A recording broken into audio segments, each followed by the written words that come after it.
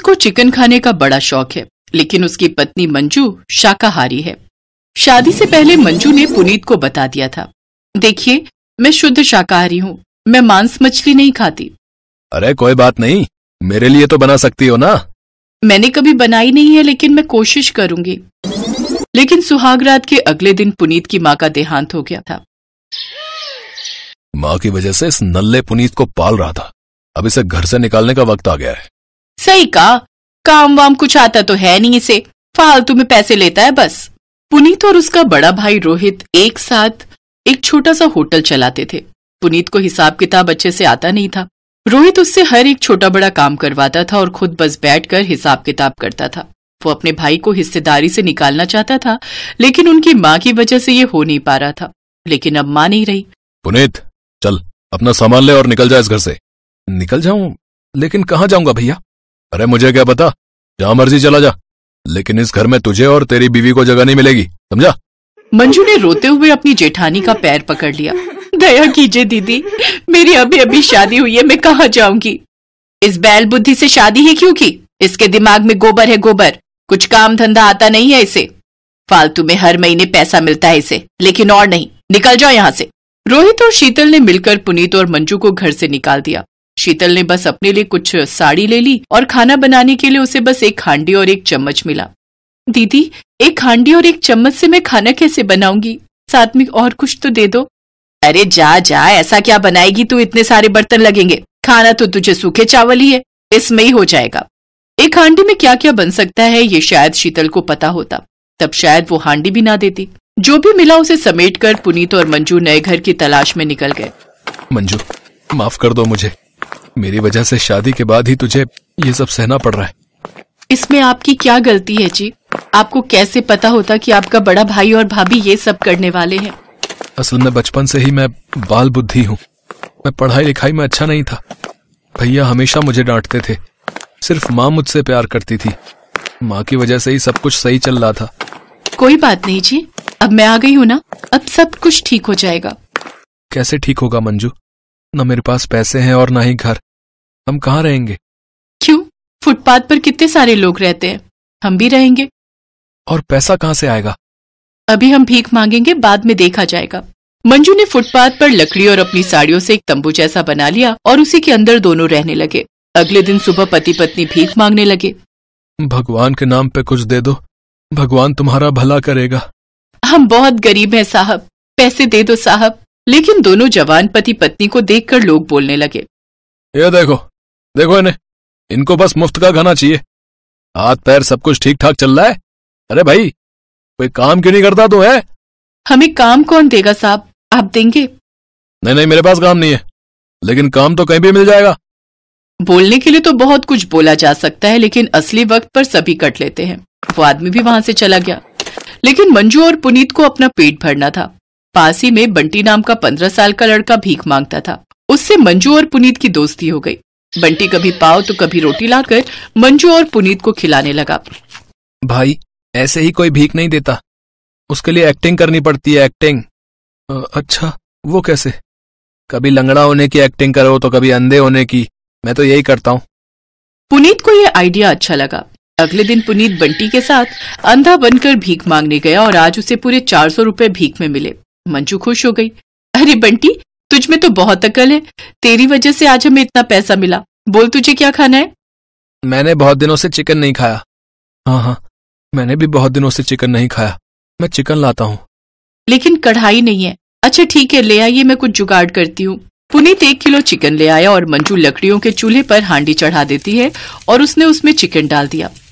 हांडी में चिकन कैसे बनेगा? पता नहीं कोशिश करती हूँ। और कुछ है भी तो नहीं। मंजू ने उसी के अंदर अदरक लहसुन नमक और सरसों का तेल हल्दी और मिर्च डालकर अच्छे से मिला दिया और धीमी आँच पर पकाने लगी। घंटों भर चिकन पकने के बाद मंजू ने हांडी का ढक्कन खोला और उसमें से इतनी अच्छी स्मेल आई कि मंजू के मुँह में भी पानी आ गया। अरे वाह मैंने ज़िंदगी में पहली बार चिकन बनाया है। स्मेल तो बढ़िया लग रही है। आज खा के भी देख लो मंजू वैसे भी और कुछ नहीं है। मंजू ने जल्दी जल्दी चावल पकाया और तीनों ने मिलकर हांडी में बना हुआ चिकन खाया। अरे वाह टेस्ट भी तो बढ़िया है। हाँ मंजू चाची आपने क्या चिकन बनाया? ऐसा चिकन मैंने कभी नहीं खाया। मैं भी। हांडी में इतना अच्छा चिकन बनता है ये मुझे पता नहीं था। एक किलो चिकन तीनों मिलकर खत्म कर देते हैं। मंजू चाची आपने इतना अच्छा हांडी चिकन बनाया है आप यही हांडी चिकन बेचते क्यों नहीं हो? अरे हाँ ये तो तुमने सही कहा। लोग एक ही तरह का चिकन खाते खाते बोर हो गए लोगों को ये हांडी चिकन बहुत पसंद आएगा। लेकिन उसके लिए भी तो पैसों की ज़रूरत है। बड़ी हांडी चाहिए, चूल्हे के लिए लकड़ी चाहिए, बर्तन चाहिए, कम से कम दस हज़ार रुपए की ज़रूरत है। कहाँ से आएगा पैसा? मैं दूँगा ना। भीख मांग मांग कर बिज़नेस करने के लिए कुछ पैसे इकट्ठे किए हैं मैंने। इसी व्यापार में लगा देता हूँ पैसा। आप मुझे पार्टनर बना लेना। अगले ही दिन से मंजू ने हांडी चिकन बनाना शुरू कर दिया। हांडी चिकन की स्मेल से ही लोग आने लगे। मंजू फुटपाथ पर बैठकर हांडी चिकन बनाने लगी। बंटी और पुनीत लोगों को खिलाने लगे। इसी तरह वो दुकान फुटपाथ हांडी चिकन के नाम से फ़ेमस हो गई। जिस आदमी ने पुनीत और मंजू को कुछ काम करने की सलाह दी थी वो एक दिन खाने आया और हांडी चिकन खाकर उसने बहुत तारीफ़ की। अरे वाह। तुम लोगों ने तो कमाल कर दिया भाई है? बहुत स्वादिष्ट चिकन था ये। हम्म, वाह। इसी तरह एक साल के अंदर उन लोगों ने दुकान खड़ा कर दी। बंटी उन दोनों के साथ ही रहने लगा। उधर रोहित के होटल में धंधा बंद होने की कगार पर आ गया, क्योंकि पुनीत ही सारा काम संभालता था। सभी कस्टमर के साथ अच्छा बर्ताव करके उन्हें खुश रखता था, लेकिन रोहित वो नहीं कर पाया और होटल बंद हो गया। और एक साल बाद पुनीत ने उस होटल को भी खरीद लिया। और इसी तरह हांडी चिकन बेचकर पुनीत, मंजू और बंटी अमीर हो गए और खुशी खुशी जीवन बिताने लगे। ये कहानी है निखत और उसके बेटे अली की। निखत से उसके शौहर का साथ निकाह के दो साल बाद ही छूट गया। उस वक्त अली को पैदा हुए बस कुछ ही महीने हुए थे। यही वजह थी कि उस मासूम के जहन में उसके अब्बू से जुड़ी कोई याद नहीं थी। उसने तो अपने अब्बू को बस तस्वीरों में ही देखा था। अम्मी अब्बू को खाने में क्या पसंद था? वही जो तुझे पसंद है। वो भी तेरी तरह बिरयानी पसंद करते थे। अच्छा फिर तो वो आपसे हर रोज बिरयानी बनाने को बोलते होंगे जैसे मैं बोलता हूँ। नहीं वो मुझसे नहीं कहते थे बल्कि वो तो खुद हर रोज बिरयानी बनाया करते थे खुद भी खाते थे और सबको खिलाते थे। क्या मतलब अब्बू को खाना बनाने का शौक था क्या? हाँ बहुत ही ज़्यादा। उनका यही शौक देखकर तो तेरे दादू ने उन्हें ये ठेला खरीद कर दिया था। तेरे अब्बू बड़े ही मन से घर पर बिरयानी बनाते थे और फिर इसी ठेले पर रखकर पास वाले नुक्कड़ पर बिरयानी बेचा करते थे। वो वक्त ही कुछ और था। वो चाहे जितनी बड़ी देग बना ले कभी बिरयानी बचती नहीं थी। इतना स्वाद था उनके हाथों में। अच्छा तो इसका मतलब तुमने भी अब्बू से ही सीखा होगा बिरयानी बनाना है ना? हाँ मैं उनकी मदद करती थी पर बनाते हमेशा वही थे। लेकिन अब अब तो मुझे ही बनानी होगी ना। अम्मी उदास मत हो।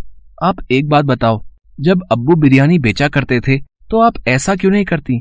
ये खेती करके तो हम पेट भर कर खा भी नहीं पाते। अगर आप भी बिरयानी बनाकर बेचोगी तो मुझे हर रोज बिरयानी खाने को भी मिलेगी।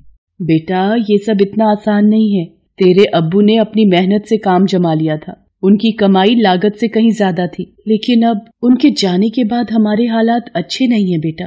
तू ही बता पूरे दिन के रोज़े के बाद इफ्तारी तक का इंतज़ाम तो अच्छे से हो नहीं पाता। तो बेचने के लिए बिरयानी कहाँ से बनाऊ मैं? तो इसका मतलब मुझे बिरयानी खाने को नहीं मिलेगी। अम्मी अब मन कर रहा है। अमूमन अली अपनी अम्मी से किसी चीज़ को लेकर जिद नहीं करता था। उस दिन भी उसने जिद नहीं की। लेकिन उसकी नम आँखों ने निखत को बता दिया था कि उसका बिरयानी खाने का कितना मन है। अली नमाज़ पढ़ने मस्जिद चला गया और निखत के हाथ भी दुआ के लिए उठ गए। या खुदा ऐसा इम्तिहान ना ले। अपने बच्चे की बिरयानी खाने की ख्वाहिश भी पूरी ना कर सकूँ। इतना मजबूर तो ना बना। निखत अपनी मजबूरी पर रो रही थी। तभी दरवाजे पर किसी ने दस्तक दी। अस्सलाम वालेकुम। वालेकुम अस्सलाम। जी आप? मैं असलम हूँ। आपके पड़ोस में जो खान साहब रहते हैं मैं उनका रिश्तेदार हूँ। कुछ काम से आया था पर यहाँ तो ताला लगा हुआ है। आपको कुछ पता है क्या? जी खान साहब वो तो अब यहाँ नहीं रहते। पिछले महीने शहर चले गए। यहाँ का मकान भी बेचने वाले हैं शायद। आपको बताया नहीं उन्होंने? वो दरअसल मुझसे खान साहब का फ़ोन नंबर कहीं गुम हो गया इसलिए बात नहीं हो सकी। लेकिन ये तो गड़बड़ हो गई। खान साहब से ज़रूरी काम तो था ही। सोचा था कि इफ्तार और मगरिब की नमाज़ भी उनके यहाँ ही पढ़ लूँगा। पर अब कैसे होगा? कुछ ही देर में इफ्तार का वक्त हो जाएगा। अब यहाँ आसपास कोई ढाबा या होटल वगैरह है क्या? जी नहीं यहाँ तो ऐसा कुछ भी नहीं है। बस राशन और गोश्त की दुकान ही है। हम्म, ये तो मुसीबत हो गई। अब क्या किया जाए? देखिए भाईजान अगर आप मुझे गलत ना समझे तो मैं आपसे कुछ कहूँ। हाँ कहिए ना। ये मेरी बदनसीबी ही है कि मैं चाहकर भी आपको इफ्तार का न्योता नहीं दे पा रही हूँ। असल में मेरी माली हालत मुझे इसकी इजाज़त नहीं दे रही। तो अगर आप मेरी कुछ मदद कर दें तो मैं भी आपकी मदद कर सकती हूँ। असलम को निखत की बात समझ आ गई थी। उसने फ़ौरन अपनी जेब से कुछ पैसे निकालकर निखत की तरफ़ बढ़ा दिए और बोला ये लो बहन इतने में हो जाएगा ना? जी भाईजान बहुत अच्छे से हो जाएगा। बहुत बहुत शुक्रिया आपका। अरे नहीं नहीं शुक्रिया तो मुझे आपको कहना चाहिए। आ, मैं ऐसा करता हूँ यहीं बाहर इंतज़ार करता हूँ। अगर आपको कुछ मदद चाहिए हो तो बताइएगा। नहीं नहीं मैं सब कर लूँगी। आप आराम करें। इसी के साथ असलम निखत के घर के बाहर ही एक पेड़ की छाव में बैठ जाता है और निखत फ़ौरन इफ्तार की तैयारी में लग जाती है। ये तो काफ़ी पैसे हैं। इनमें तो इफ्तार के साथ साथ बिरयानी भी बन जाएगी। या अल्लाह, आज मेरा बच्चा बिरयानी खाएगा। ज़रूर खाएगा। निखत फ़ौरन जाकर पास की दुकान से राशन और गोश्त खरीद कर ले आती है। साथ ही इफ्तारी के लिए कुछ फल भी। फिर उसने बड़े ही मन से बिरयानी बनाई। ठीक वैसे जैसे अब्बास बनाया करता था। कुछ ही देर में अली घर वापस आ गया। अम्मी आप आप बिरयानी बना रही हो? क्या सच में? हम्म, इतनी बढ़िया खुशबू। अम्मी बताओ ना ये बिरयानी की खुशबू ही है ना? हाँ बिरयानी ही है। तेरा इतना मन था खाने का तो बना दी मैंने। लेकिन अम्मी ये सामान कहाँ से आया? निखत अली को सब कुछ बताती है। अली फ़ौरन जाकर असलम से मिलता है और उसे शुक्रिया कहता है। फिर शाम के वक्त सभी एक साथ इफ्तार करते हैं। अच्छा बहन अब चलता हूँ। इफ्तार के लिए बहुत बहुत शुक्रिया। रुकिए भाईजान मैंने बिरयानी बनाई है। आपने जो पैसे दिए थे उन्हीं से इफ्तार का इंतज़ाम भी हो गया और बिरयानी का भी। वो भी खाकर जाइए। नहीं नहीं बहन अभी तो इफ्तारी की है। मैं खाना कुछ देर रुककर खाता हूँ। भाईजान थोड़ी सी चक तो लीजिए। अच्छा ठीक है। चखने भर को ले आइए फिर। निखत फ़ौरन रसोई में जाकर असलम और अली के लिए बिरयानी लेकर आती है। असलम जैसे ही बिरयानी का एक निवाला चखता है उसके चेहरे के हाव भाव ही बदल जाते हैं। बहन बिरयानी बहुत ही लजीज है। अब थोड़ी और मिलेगी क्या? हाँ अम्मी मुझे भी और चाहिए। बस अभी लेकर आई। निखत खुशी खुशी असलम और अली दोनों को पेट भर बिरयानी खिलाती है। उसे ऐसा करने में बहुत ही खुशी हो रही थी। आह सोचा न था कि इतनी सारी बिरयानी खा जाऊँगा मैं। बहन सच में आपके हाथों में तो गजब का स्वाद है। मैंने बड़े से बड़े होटल में बिरयानी खाई है लेकिन ऐसा स्वाद आज तक नहीं चखा। जी बहुत बहुत शुक्रिया, भाईजान। असल में बिरयानी बनाने का ये खास तरीका मैंने अपने शौहर से सीखा है। उनका बिरयानी बनाने का ही काम था। उनकी बिरयानी उनके नाम बिका करती थी तब। अब्बास बिरयानी। अच्छा अच्छा। मैंने खान साहब से इस नाम के बारे में बहुत सुना है। वो बहुत तारीफ़ किया करते थे, आपके शौहर की, और उनके हाथों के स्वाद की। वैसे हैं कहाँ आपके शौहर? कहीं बाहर गए हैं क्या? अब्बू बहुत दूर चले गए हैं। अल्लाह ताला ने उन्हें अपने पास बुला लिया। इतना कहकर अली अपनी अम्मी से लिपट कर रोने लगा। असलम को अब सारी बात समझ आ गई थी। फिर कुछ देर सोचने के बाद उसने अपने सूटकेस से पूरे पचास हज़ार रूपए बाहर निकाले। ये लो बहन ये रख लो। जी ये इतने सारे पैसे? नहीं भाईजान माफ़ करिए पर मैं इन्हें नहीं ले सकती। पहले आपने जो मदद की वही मुझ पर और मेरे बच्चे पर बहुत बड़ा एहसान है आपका। अब मैं आपसे और कुछ नहीं ले सकती।